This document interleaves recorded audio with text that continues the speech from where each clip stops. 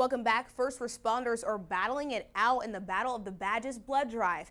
In an effort to donate blood during a blood shortage, St. Joseph first responders are having a friendly competition for which department donates the most blood during the two-day event. Now, anyone is allowed to make a donation and vote for which department they want to support in this effort. This is the first year St. Joseph has participated in the Battle of the Badges, and one first responder says a little competition is fun for a good cause ultimately, it's we're we're band together, even though we're battling uh, to raise blood for the community, and that's what matters. Is we're doing this for the community.